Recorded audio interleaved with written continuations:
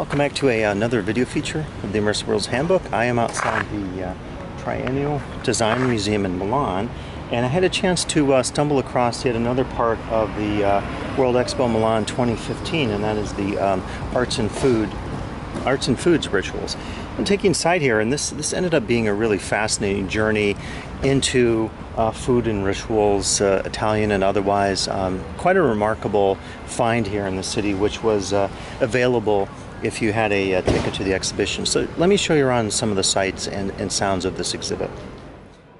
Okay, we begin the tour here, and I'm not going to show you everything um, from the exhibit. It was a very extensive space. Um, but basically, the artwork and the material culture here are focused on all aspects of eating and food and patterns of consumption associated with it as well. The curious thing, and I'll show you the beginning and um, ending of this video, but you walk through this space that was uh, entitled Kitchen and Invaders, and it sort of had a combination theme of looking at the typical household accoutrements that we have, as you can hear from some of the sound here. It's quite dramatic, these alarms. And then uh, combining uh, that with this uh, theme of, uh, you know, space invaders, alien invaders. Okay, and I'll come back to that video in just a second, and I'm going to show you um, beyond this then a little bit what I noted before um, that part of the um, exhibit. So throughout the um, space here in Milan, they had all sorts of um, cooking uh, accoutrements, as you might expect, um, recreated bars, uh, like this. Um, you know, really uh, an amazing space. And for me, what was exciting about this part of the expo, even though it was far away from the expo, you certainly did have to uh, travel um, a ways to uh, visit it, but your ticket actually was good for entrance. And you can see what they've done here. The curators have created a space that is uh, very much going along and, and I think creating a dialogue with the uh, main themes of the World Expo. And this was one of many interesting and curious uh, conceptual approaches uh, to art. And I'm sorry I don't, I don't have a lot of the titles of the artists here. Um, but um, as you can see with my images, this was a, uh, a cart, uh, like a typical uh, food cart you might see in parts of Europe, but it had um, all the markings of McDonald's and as you can see some other interesting and controversial imagery. Um, so you know what was exciting to me about this space was the fact that there was more room for contemplation and thinking about things in a conceptual sense. There certainly was artwork present in many of the pavilions at the World Expo site in Milan.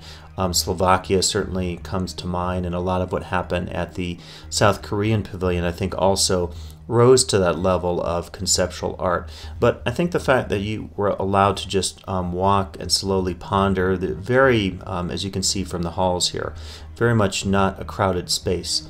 So it was kind of exciting to be able to uh, visit this and to just really take in and reflect on all the various um, aspects of food and consumption that in tandem with the expo I think made for me as a, as a visitor for a very uh, intriguing dialogue about food consumption and uh, also the big issues of conservation that were so key um, at the expo space proper.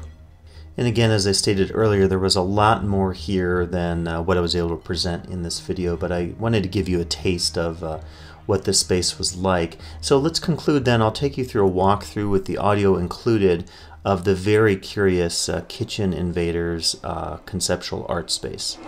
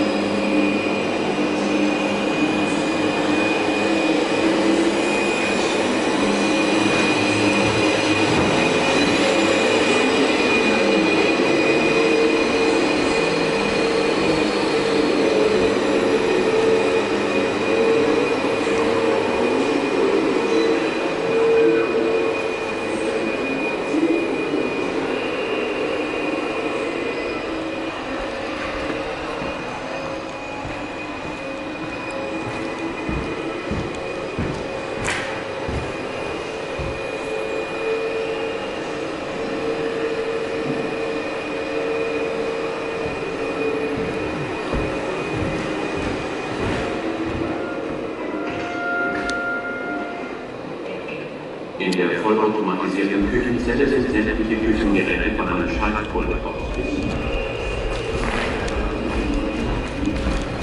I hope you enjoyed this video feature today here at Arts and Foods in Milan at World Expo 2015 and please come back for additional video features of the Immersive Worlds Handbook.